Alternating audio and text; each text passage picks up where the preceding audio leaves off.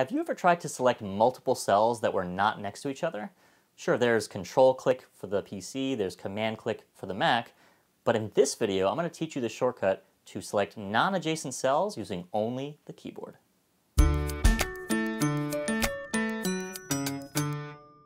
If you want to select cells that are not next to each other using the mouse, the way to do it primarily is with the keyboard pressing and holding the control key and then clicking with the mouse. This is probably what you've done thus far. You can even click and drag and get a whole range going.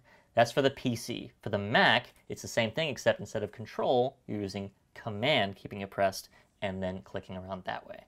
However, if you ever want to use the keyboard only, the way to do it is with Shift F8. And the memory trick is you should have come along, you funny mate, which is terrible. I know this is a terrible uh, trick, but hey, it actually helps you remember. The should is the shift, and the funny mate sounds like eight, so it's kind of like, you know, close, I guess.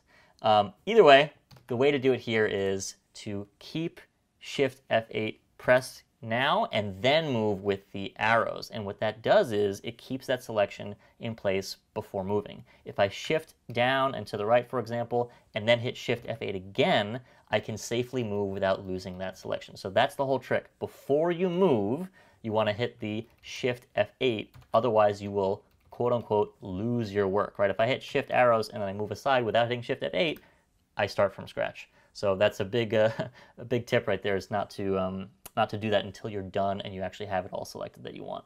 So there's one more nuance, which is that if you want to take an entire range, you'll go ahead and hit Shift F8 once, move aside as we, as we saw. But if you want to take a single cell, you'll hit Shift F8 twice before moving on.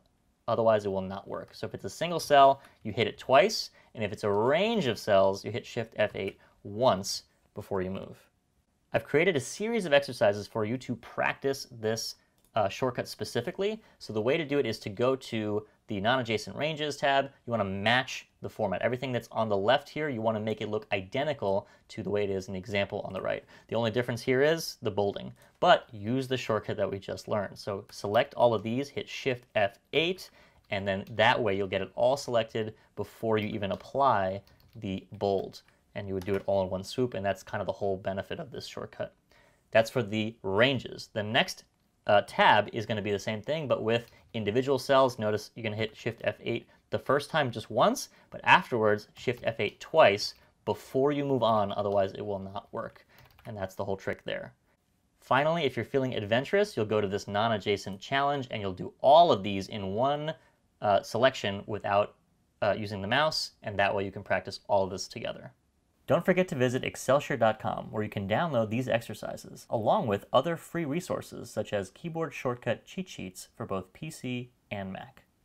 Thanks for watching, see you next time, and if you can only take a stand for one thing in your life, take a stand for sharing the Excel love. That sounds like someone I would stand for.